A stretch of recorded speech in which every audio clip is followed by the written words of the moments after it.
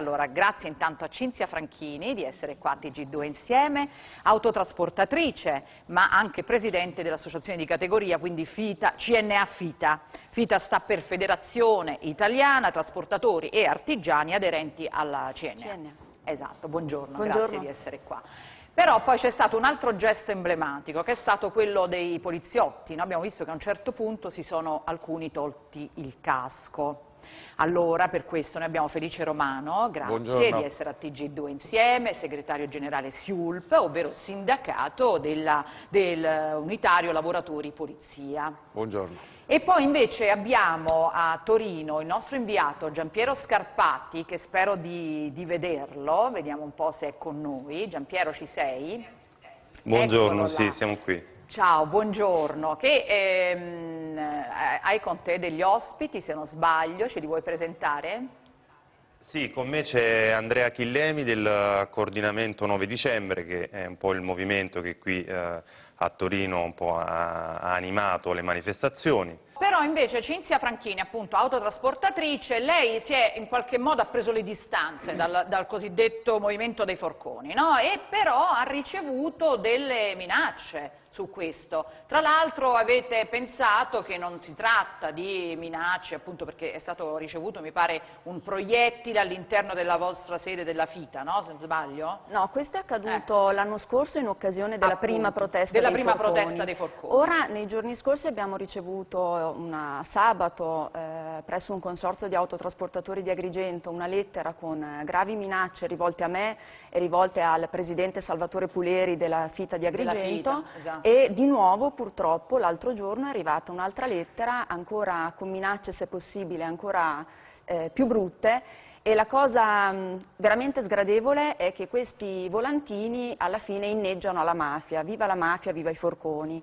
Beh, questo era poi uno slogan che appunto la prima manifestazione dei Allora, forconi io- in Sicilia proprio portava questo slogan, tant'è che ci sono anche lì delle, delle critiche, insomma. Giustamente Andrea dice non siamo tutti uguali ed è corretto, io però eh, gradirei molto da parte dei forconi che eh, come dire, mh, si prendessero le distanze no, da certi fatti che accadono, che sono molto gravi e io credo che inneggiare la mafia sia sempre un fatto gravissimo. Ecco, allora lei Cinzia, mi scusi, poi torniamo ovviamente da lei, voglio sentire Andrea, perché ha sentito Andrea quello che stava appena dicendo Cinzia? Cinzia? Ehm, intervengo un attimo io eh, e adesso lo chiediamo a Andrea. In realtà loro comunque hanno preso le distanze eh, da, questi, da questi atti di violenza. È vero Andrea, nei giorni scorsi è successo più volte, ci sono state queste intimidazioni ai negozianti, però i membri del coordinamento 9 dicembre hanno sempre preso le distanze da questi atti. Assolutamente sì. Noi non siamo scesi per protestare contro i negozianti. Noi siamo coi negozianti e noi siamo i negozianti, siamo gli ambulanti, siamo diverse categorie. Non ci vogliamo danneggiare a vicenda. Assolutamente. Il punto critico però, insomma, dove un po' siete un po' criticati, è sulle richieste. Le Sì. richieste spesso appaiono un po' generiche, si parla di dimissioni del governo, Ok. eh, lavoro per tutti, insomma lì non ci sono de- non c'è una piattaforma di, richiesta- di- di richieste precise. Sì. Ecco, io voglio andare immediatamente da Cinzia Franchini perché intanto vedevo che scuoteva la testa, però in effetti bisogna dire che se facciamo un passo indietro, andiamo appunto alla Sicilia, quando nasce il movimento dei forconi, no?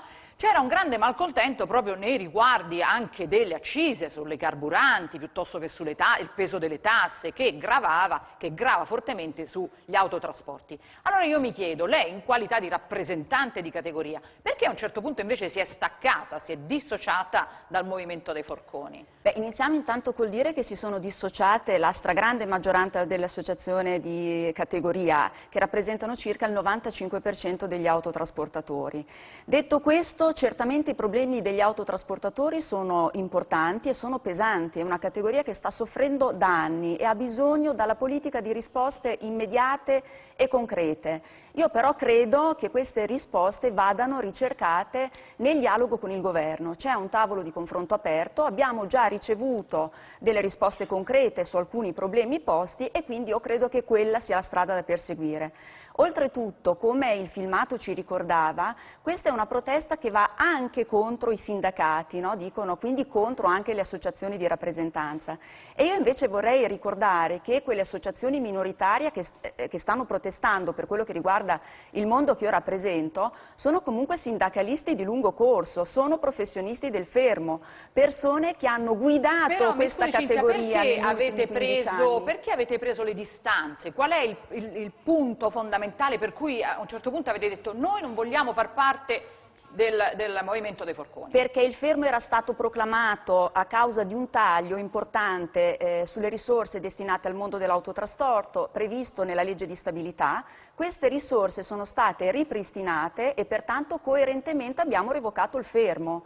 Eh, per tutto il resto, per tutti i problemi che rimangono, noi preferiamo dialogare piuttosto che scendere in piazza, eh, creare disagi a, a, tutto, a tutto il mondo certo. e, e, oltretutto devo dire anche il mondo dell'autotrasporto non ci esce benissimo dall'essere accomunato ai forconi, ai rivoluzionari, a gente che ecco, usa la violenza.